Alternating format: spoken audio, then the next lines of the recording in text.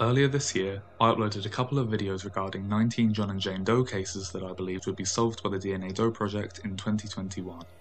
Case 19 was Hudson John Doe, a man whose body was found in Ohio in 2019 and who was believed to have died at least 50 years prior to this discovery.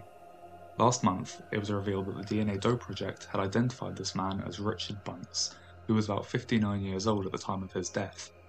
Incredibly, Bunce had been born in New York State in 1793 and had died well over 150 years ago, around the year 1852.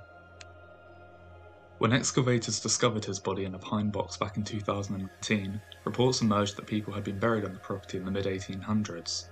These rumours turned out to be true, as Bunce had previously lived on that land in the years before his death, with the 1850 census listing him as living there alongside his wife and their many children.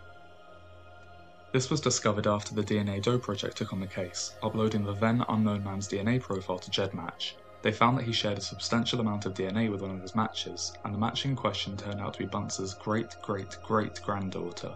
This is currently believed to be the oldest Doe case ever solved using investigative genetic genealogy, which proves that the technique is suitable for identifying people who died many decades or even centuries ago.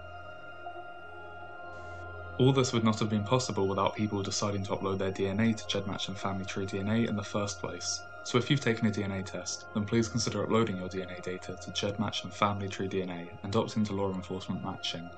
There are links in the description which will walk you through the process of doing this, and if you have any more questions then feel free to ask them in the comments and I'll answer them as well as I can. If you want to find out more about the other John and Jane Does I believe will be identified this year, there are links in the description for those videos too, and if you found this video interesting, then feel free to like, subscribe, and watch this space.